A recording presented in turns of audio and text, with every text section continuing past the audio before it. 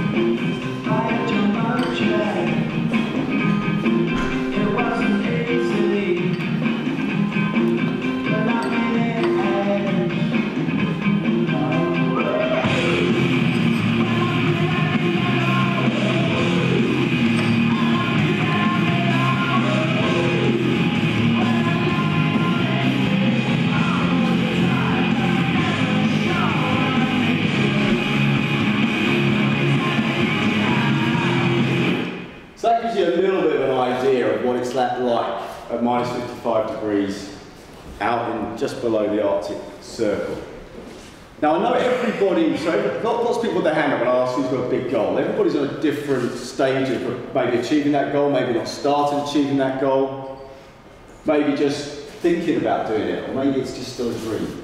And the great thing about any kind of talk is you can get out of it what you want, because everybody's on a different stage of the journey. You know, this 40 minutes is, a, is not about business, it's about an investment in you and what those goals might be. It might be a sporting goal, a personal development goal, a business goal. It could be anything. When I've, whenever I've taken on a big challenge, one of the things I learned, and I had six days and 19 hours on my own to think through why do I always keep achieving these big goals? What's the recipe? What's the formula? One of, the, one of the things I sat down to do when I got back, or when I started off on this journey, was I started mapping out a timeline. And I'd encourage anybody before you start on a, a goal, a, a journey towards achieving a big goal, to map a timeline. So I mapped two timelines. One of them was a career timeline, one of them was a sporting timeline. And what the reason for doing this, the reason it's really powerful, is because if you look at where you've come from, I mean, I look around this room and I know some of the fantastic achievements that people have achieved in this room. I know some of the experiences in this room. But have you ever sat down and mapped out where you started and where you've come from? Now, why is that useful? Because when you're achieving a big goal, when I talk about goals, I'm talking about big goals, not incremental changes, but big goals. When you're looking at achieving a big goal, if you look where you've come from, it doesn't look so scary. It doesn't look so frightening when you're thinking about that big step. The thing that's stopping most people from going for a big goal is because it's fear of action. It's fear of action for a number of reasons, fear of failure or fear of success. But if you look at where you've come from, it starts feeling a little easier.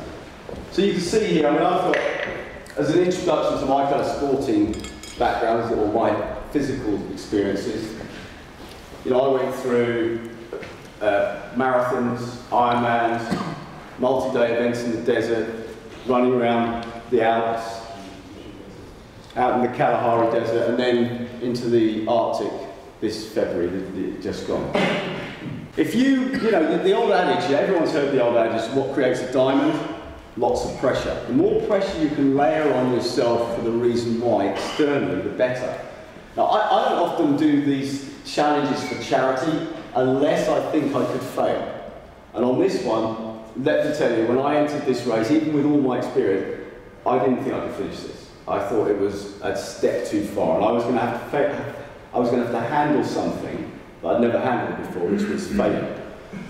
So I, I agreed to, to sponsor um, a, a, charity. In fact, what, it's a charity called Humanity Direct, and it was this, you, you pick a specific person that you are going to raise money for. And there was a little girl called Grace, in Africa, in Uganda, who was born with no ears. She couldn't hear, so she couldn't go to school. And my challenge was to raise £5,000 so she could have two operations on her ears, so she could then go to, to hospital. so that created pressure on me, because then I started thinking about Grace when I was doing the training and when I was out in the event. So these two things are really key. Internal reasons why, great. But the more you can build up those external reasons why, the more likely you are to be successful. So second step in achieving any big goal, you've got to prepare well. So let me share with you the way I prepared for this event, and this could apply to anything. The left-hand side on this slide here shows a couple of books by guys who've been out there. Best way of learning how to achieve a big goal, find someone who's already done it, learn from them, ask them as many questions as you can, get their insight into how they did it, so that you can, there's not many things that you would want to do that someone hasn't already done. If you think about your big goal, who, who could you go to and learn from who's already done it? These guys have both written books on the topic. The guy at the top on the left, Mark Hines, he's a completer. So he's complete, he completes races. The guy at the bottom is a competitor. So I wanted to learn from both of them because they both got different bits of advice. And I'm kind of somewhere in the middle. My first goal with anything like this is to complete it. My second goal is to be a competitor. So I learned from them, I got lots of advice from them. Of course, one of the challenges when you ask for advice, what do you get? You get conflicting advice. You get someone will tell you, or you get confusing advice. So you have to take your own experience from your timeline and filter that out. Make your own decisions based on the information you're getting from your, the people you're asking. Now I call these, in business you call these people mentors or coaches. It's the same thing. Who's done it before who could mentor you to achieve what you want to achieve? Now, one of the things I've also learned is in preparation for an event, you're moving yourself along this scale at the bottom here. Because when you enter an event, like this event, especially if there's a chance you could die, or you could lose fingers or toes, you're at this end of the scale, trust me. You're in fear. And normally that's what paralyses most of us from taking action to achieve whatever big goal it is you're thinking of achieving. By doing, going through these steps of preparation, you're moving yourself along this line from fear, concern, anxiousness to confidence. And the more you can do, the more confident you become. So the first step is mentors, coaches, who's done it before. So the, the next piece is prepare specifically for what you're going to do. So when I was having to run across the desert, I'd run with a 10 kilogram back on my back. For a year before, I ran everywhere with a 10 kilogram pack on my back. When I was training for the Arctic, I walked around the Chiltern Hills for every morning for months, pulling a tyre behind me to get ready for what it was going to be like pulling a pulk in the Arctic. One of the things I've also learned is you need to push yourself in training or in preparation. So between Christmas and New Year this year, I went, or actually last year, it was about 28th of December last year, I did an 80 mile walk up the Grand Union Canal in the UK, 40 miles out, 40 miles back, pulling a tyre, took me 26 hours, but when I finished it, imagine how confident I felt about my ability to be able to get through some really hard times. So by doing, by pushing yourself in preparation, in the army, you know, train hard, fight easy. It's the motto in one of the regiments I was in. So you, you learn to prepare well, and then you, you feel more confident when you stand at the start and you move along this, this line here.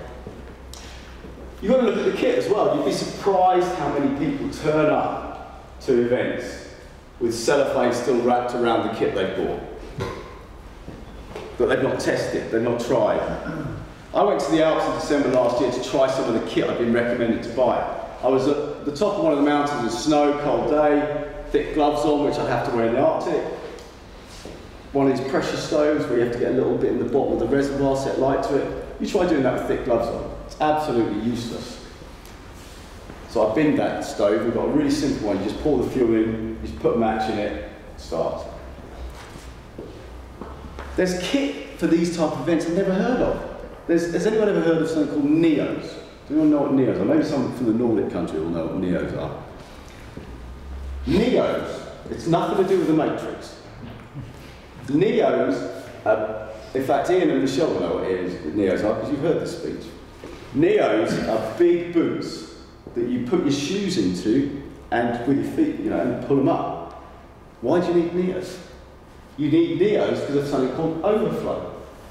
What's overflow? I thought, just, I thought it was a car park. When the car park gets full, you go to. Overflow is where ice, water comes up through the ice, and you get a thin layer of frozen water on top.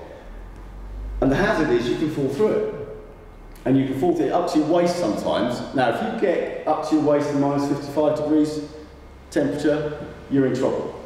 So you've got to react quickly, you've got to get a fire going quickly, so the Neos are great because you pull them up sort of here, and if you go through overflow and fall through, chances are it won't be that deep and you're not going to get soaking wet feet and clothes. So, so you learn a whole new language when you start looking at researching. And it, whatever goal it is, whatever thing, thing you're thinking about that's new, you'll probably find there's things that you didn't know either when you started on that journey. Even up to the day before the race, two days before the race, we were taken out on a four-hour training event. So we got there, we had to go out into the middle of nowhere, and we had to prove that we could start a fire, light our stove, put our shelter up, get in our sleeping bag. that evening, I learned stuff I wasn't ready for. I learned things that I could do better. For instance, I bought this really expensive turbo lighter, like a flamethrower lighter, which is great at minus 10, minus 15, minus 20. Once you get to minus 55, the fuel just freezes, or it goes all gloopy, so it doesn't work. So the only thing that works out there are either fire lighters or matches. This picture here is me lighting fire. So those that know me know I'm quite competitive.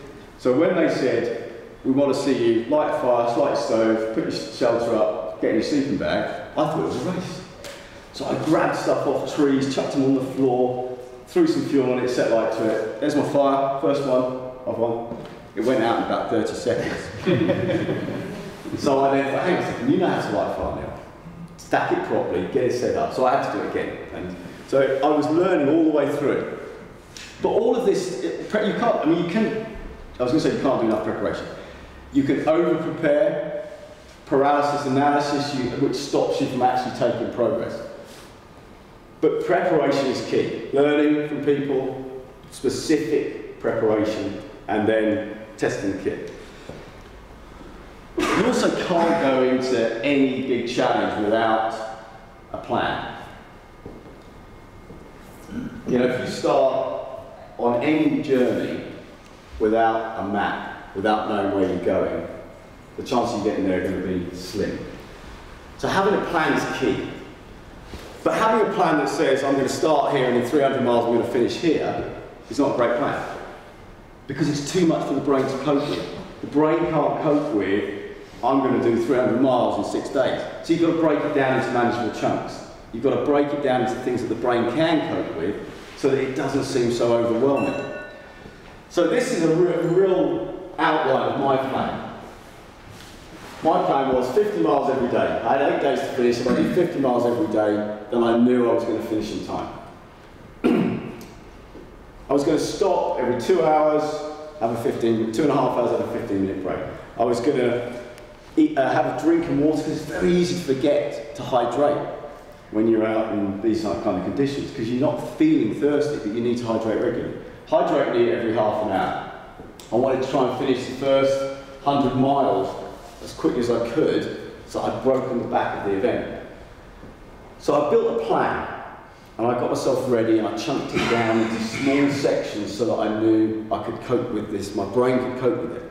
And whatever goal you're trying to achieve, whatever goal you're thinking of, you have to break that plan down, because otherwise it just is overwhelming and you won't start.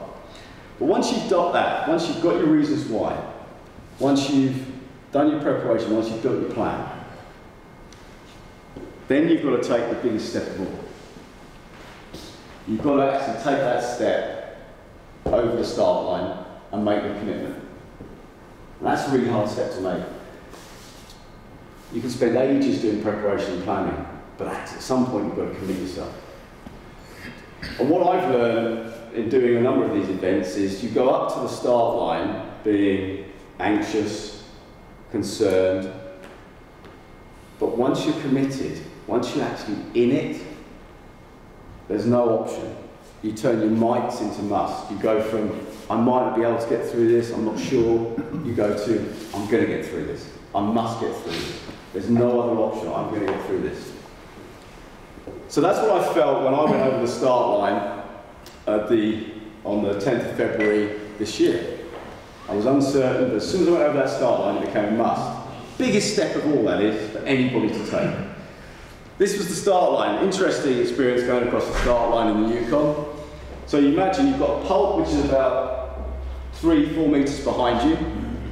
You've got uh, 100 people starting, two by two. It's like uh, H, a load of HGV lorries, you know, big long lorries uh, going along. And so it took about 20 minutes to get everyone over the start line. This guy on the right here um, is he's a Mexican.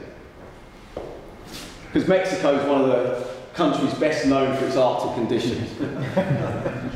so he, he, and you can see he's a really great athlete, sponsored by lots of people. Nice guy actually, nice guy. And I'll tell you a story about him in, in a minute. Really excited, really keen, very fit. There was a lot of fit people there actually, a lot of fit people out there. So this was us stepping over the start line. It was about minus 35 degrees when we started, 10 o'clock in the morning on February the 10th. And my, as I said, my brain went from, I might do this I must do this. So then I'm on the journey. So I'm in, I'm going. This is me coming up to the marathon mile. The marathon mile was the first checkpoint. And some of the locals run the marathon when they go home. So there were some people pulled out of the marathon point. And it was getting colder by this point. Now you see I'm pretty happy coming up there. I was pretty happy because I'd done it in six hours. Walking, stopping every two, two hours, 30 minutes, having a 15 minute break. So I was pretty pleased. And I, was, I did run a little bit, but you have to try and keep the temperature down in the, in the Arctic because at these kind of temperatures, you sweat, clothes freeze. I mean, some of you guys will know that well. You're, you're in trouble. So you've got to try not to overheat too much, but keep yourself going. And that's one of the things I found most strange actually to start with was I was taking more clothes off in these temperatures. It was really weird. So I then headed out from the marathon point. The next checkpoint is 56 miles, place called Dog Grave Lake. Great name.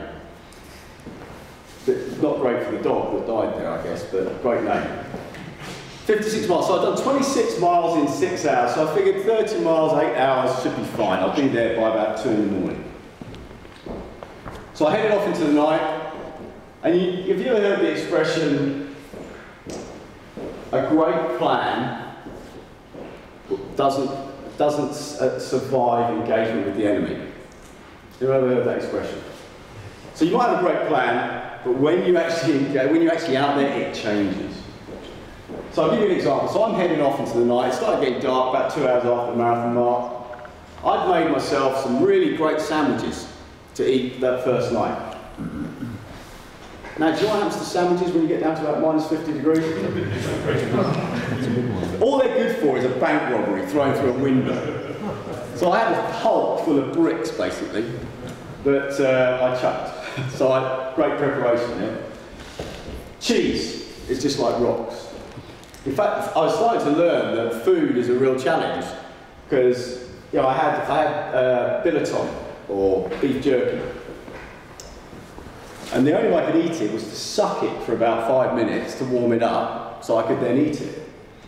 So until you're there, you can't learn, but you have to learn and adapt. So you have to try and find a way of dealing with it. So I was learning this all the way through. As I was going through the night, I was starting to feel tired. I knew it was getting colder because my pulk was sticking to the snow. It was almost every step it was freezing to the snow. So it got to about midnight, and I'm still going, you know, this checkpoint's not far away. Got to about one o'clock, and I was really starting to feel tiredness in my legs. On my own in the middle of nowhere, I hadn't seen anyone for hours. In the middle of the woods, pitch black, first night, I'm feeling really tired. So I had to make a decision.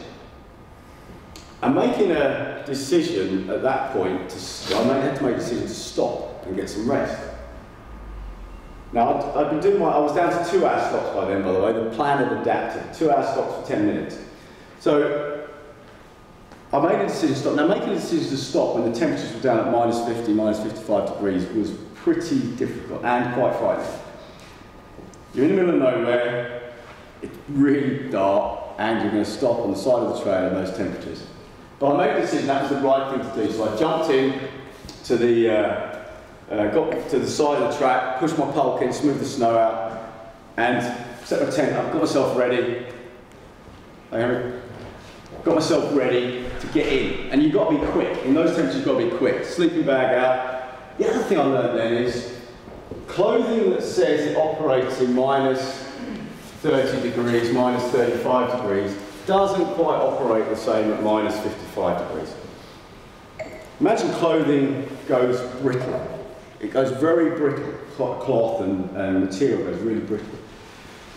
So I put my sleeping bag out in the tent, open the zip, the, the, the sleeping bag got a bit like tissue paper. The zip ripped the top of the sleeping bag, tent suddenly full of feathers. I didn't have time to think about it, I just had to jump in, and in the sleeping bag, it was so cold, I had to jump in the sleeping bag, get, get myself in there, and then take my clothes off, because one of the things you never do is sleep in your clothes in your sleeping bag. Sleeping bag should cope without all your clothes on. I'll tell you some stories about people who made that mistake in a minute. So I got in there and I got a couple of hours sleep. I felt pretty good. I got a couple of hours sleep. About 4:35 in the morning, I woke up, cold sleep, uh, seeping into the sleeping bag. And then I had a little panic attack because I thought I'm not even at 56 miles yet. It's minus 50. Well, I didn't know it was minus 50. I just knew it was very cold. Very, very cold. I could feel it coming in. I thought I've got to get up and keep going. And I'm not even 50 miles into this race yet. So I don't know if you've ever had this experience. When you get overwhelmed with something, I don't know how you cope with it, but this is one of the coping strategies I found is breaking things down into tiny little chunks. Know, I talked earlier about breaking the plan down. So I broke down, how am I going to get out of this sleeping bag? So right, start with your feet, socks on, pull your trousers up, get your uh, top on, get your jacket on, ready, steady, go. Pull the sleep bag, get out, get your stuff in the pulk, get going. So by breaking it down, it stopped that panic attack, or stopped that overwhelming feeling I had. So I headed on. What was really interesting was I didn't get to the checkpoint until 11 o'clock the next morning. So five hours I was walking until I got to that checkpoint. So if I'd kept going through the night to get there, I'd have been in real trouble. So it was a good decision. So adjusting the plan, this is about achieving a big goal and adjusting the plan on the route. I got to that checkpoint, there were only three people there. I couldn't understand what happened.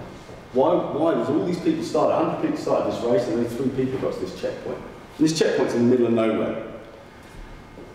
What I learned and what I didn't know was the carnage that happened behind me during the night.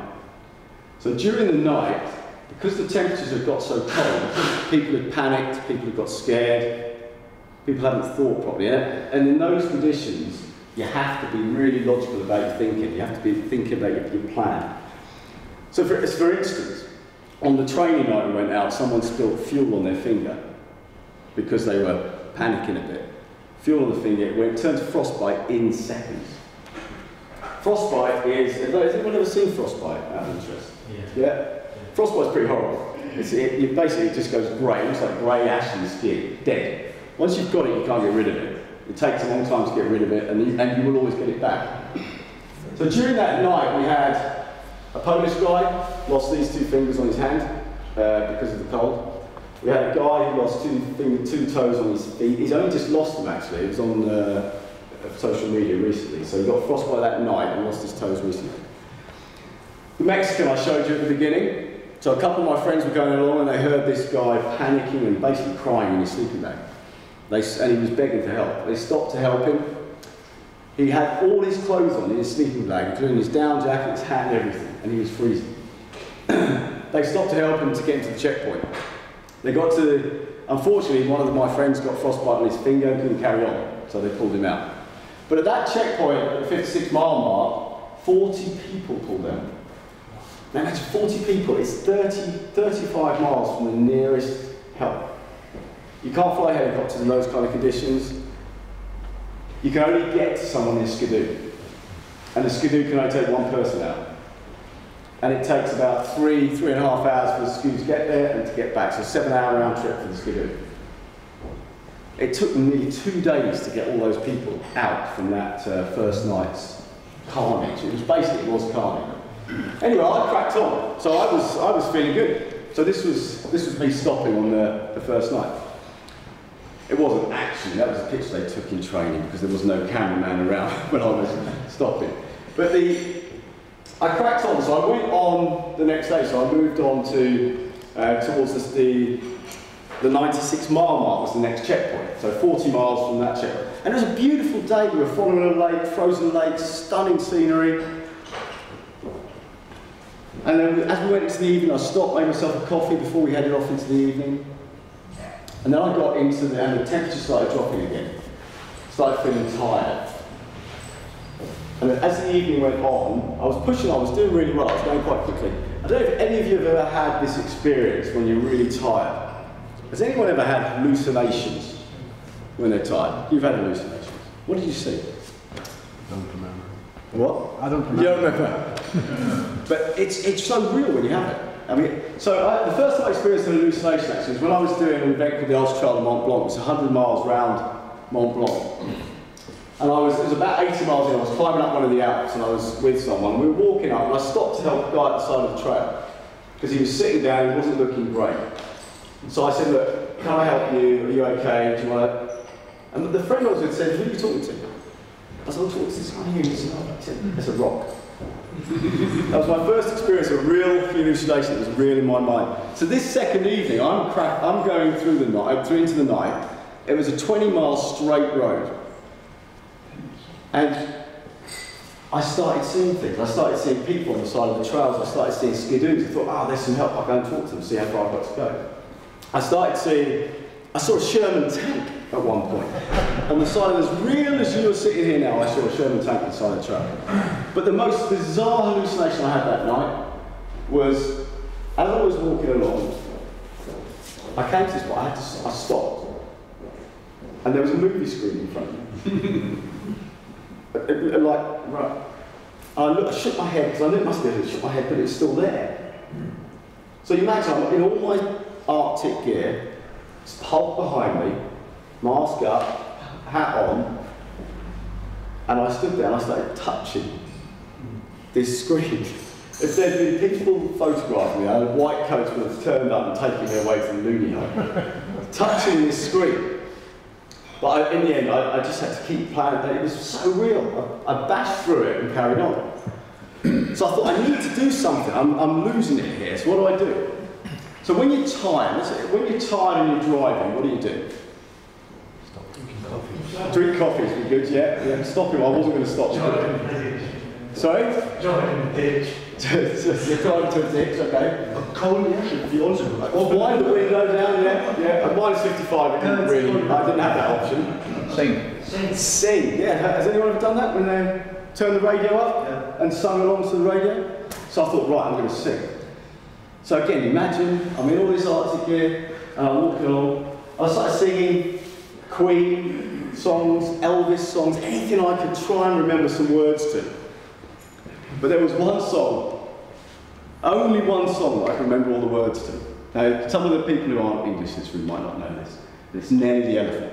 And it goes like this. Nelly the Elephant packed the trunk and said goodbye to the circus. And I did this over and over and over again. The most stupid kid's song that I can remember was Nelly Elephant. But it kept me going through that night. I got to the 96 mile mark about 2 in the morning. Absolutely nice. But one of the reasons for mentioning this, and it, it is a story and it's relevant to there, but we talk about achieving big goals.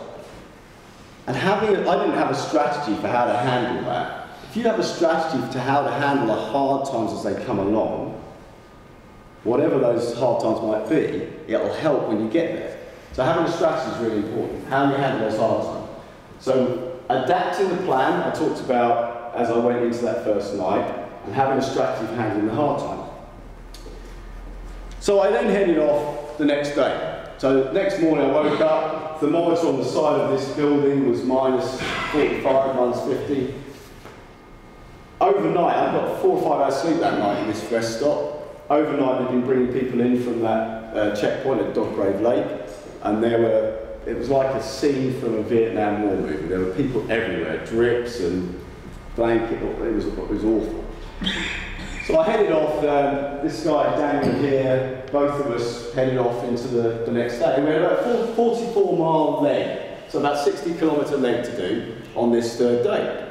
And I wanted to crack it in one go. I didn't want to stop on the side of the trail again. I didn't enjoy it, I didn't want to do it again. So I wanted to get this done as fast as I could. So I actually ran quite a lot this day. I ran and walked and ran and walked.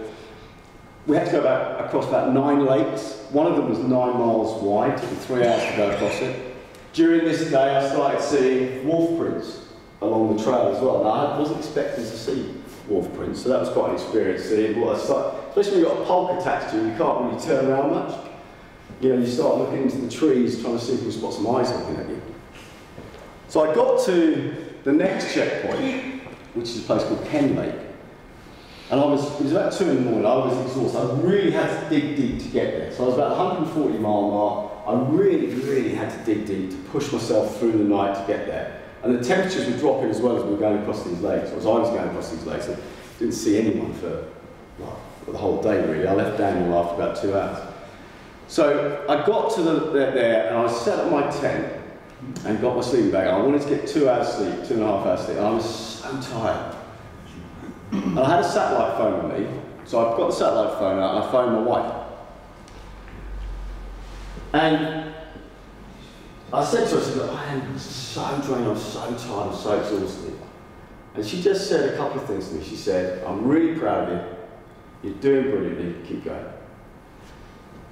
Now, that got me fired up. Two hours sleep, two and a half hours sleep. I was up the next morning and I was off. Now, why I share that with you? I share that with you because when you're taking on one of these big goals you're thinking about, one of these big challenges you're thinking about, you know you're going to go through tough times. Because if it's a big goal, it's not going to be easy to achieve. You need to have people that you respect, that you can turn to, you can talk to, to, up, to just give you that boost of confidence when it gets hard, to lift your eyes up when your eyes go down, to make you feel, you know, when you go home and you're feeling it hasn't gone right today, who's the person you're going to talk to? Who's going to lift you up?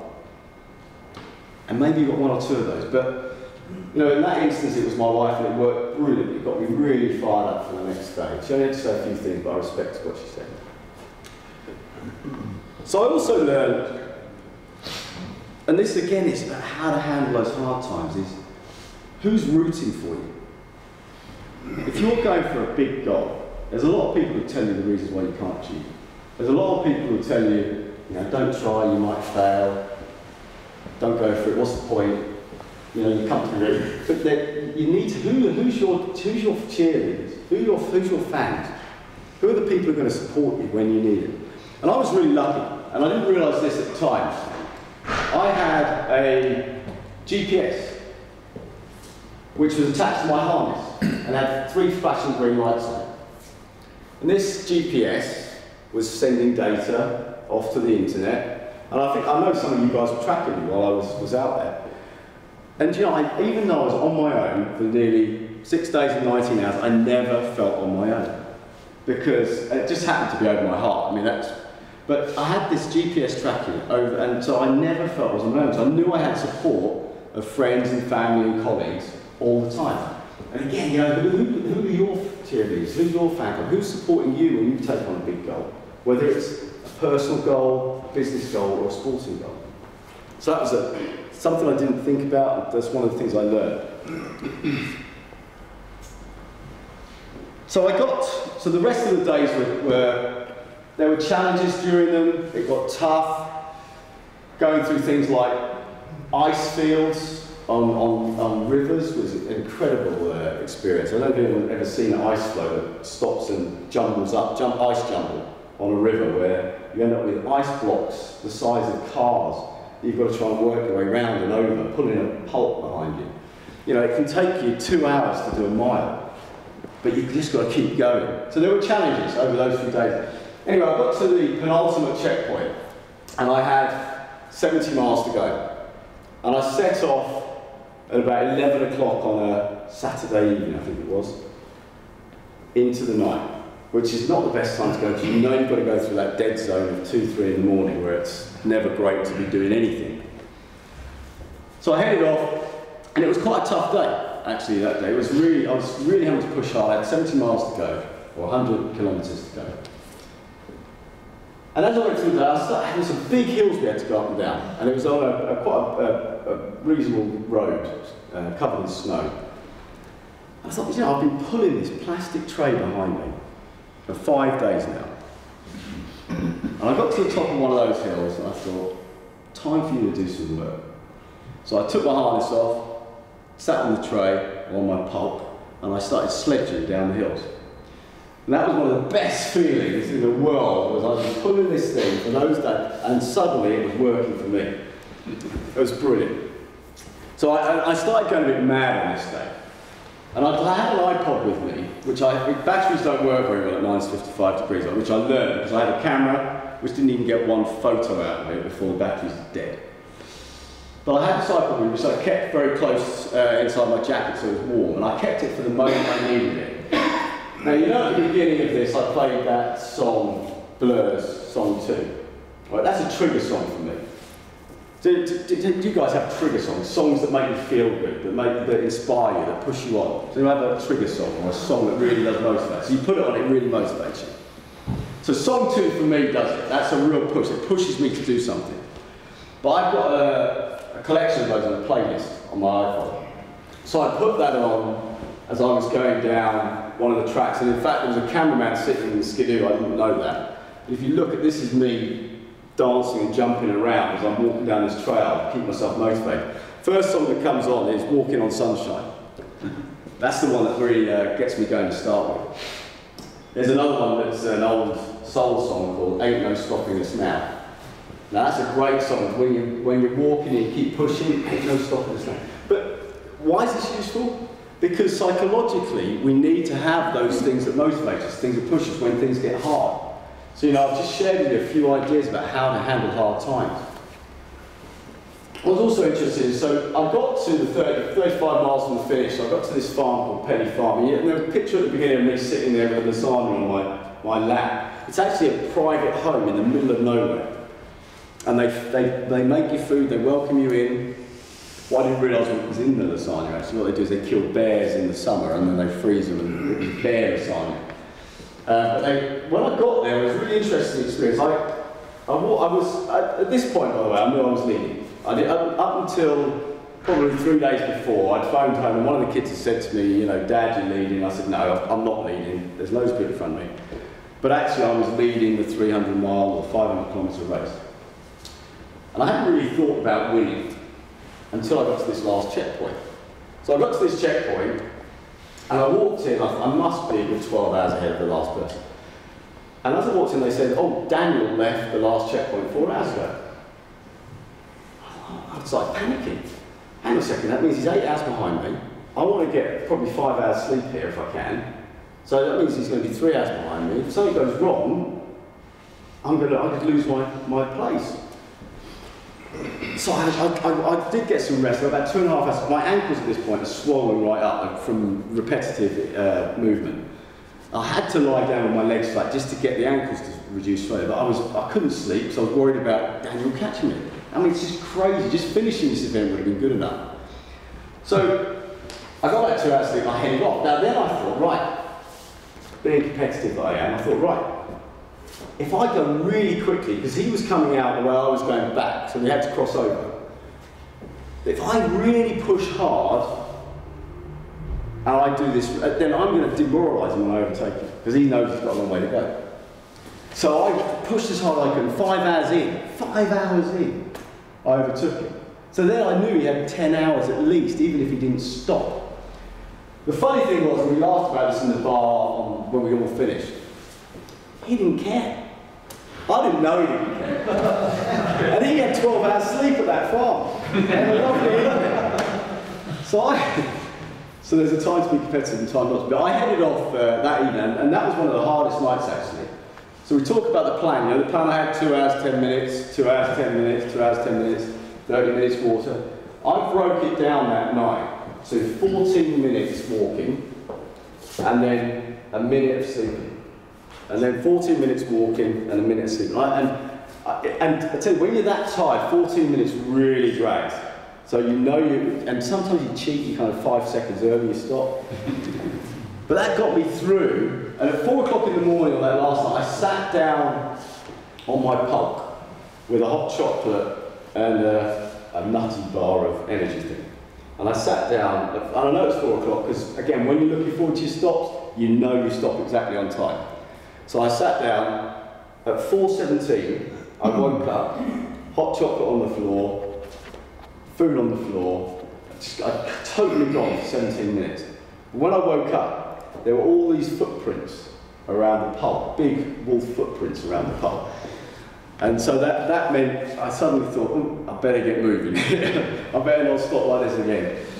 I was only an hour and a half from the finish then, and I got to the, uh, I got through to the finish, and it was one of the most underwhelming finishes in any event I've ever done. So I turned up at 5.30 in the morning. I, could hardly, I couldn't really find the finish because some of the markers had been moved by locals in this little town. And I got to the, the, the finish area and I had to bang on the window to wake them up because they were all asleep. Because they weren't expecting me. So I've kind of taken you through some of the steps. There's one final ingredient I'd share with you to achieve your big goal. So we've talked about whatever your big goal is, whatever you were thinking about when you put your hand up at the beginning, whatever your big goal is. We've talked about the timeline before you even start. We've talked about the reasons why and layering on those reasons why. We've talked about preparation, we've talked about plan, we've talked about actually going for it. We've talked about handling the hard times, adapting the plan. But if you want to succeed in any plan, is you've got to focus. You've got to focus your attention on that goal. It's no good it being something on the side that you're doing as well as everything else. It's no good you just come up with this great plan and don't. No one achieves anything significant without focus. And that's one of the things I've learned as well is if I'm focusing on a specific sporting goal or a specific personal development goal, you have to do that without distraction. It doesn't mean that's the only thing you're doing in your life, but in that area, that's the focus is so important. So those are the steps we talked through. All of those uh, steps there to be able to having that reason why I can't enforce, re, reinforce that point enough about layering on the reasons why, getting that external commitment. But don't forget, stepping over the start line is really hard and something you have to commit to. But also, it's not about enduring the journey. Too often we set ourselves goals, whether it's business or personal or sport, and we endure the journey. And we get to the end and go, oh, thank God that's over. You've got to enjoy the journey. You've only got one life. We've only got one chance to do this. You've got to enjoy it while you're here. You've got to enjoy that journey. If you're enduring every day, that's not much fun, is it? So enjoy it. And celebrate success. Celebrate small successes. So I would celebrate 14 minutes of walking by sleeping for a minute. I would celebrate two hours of walking by having hot chocolate. Set yourself small celebrations as well on the way. Because that, that psychologically, that enforces in the brain that success is good. If you keep giving yourself little rewards, it might be just be get up and walk for a coffee because you've just done a big challenge for an hour or done something. Get up and just give yourself a, significant reward because it layers on that psychological feeling that success is good. So I said at the beginning of this that I, I did this to raise some money for um, that little girl, and I got this video back just a couple of months ago. So I'll share this with you.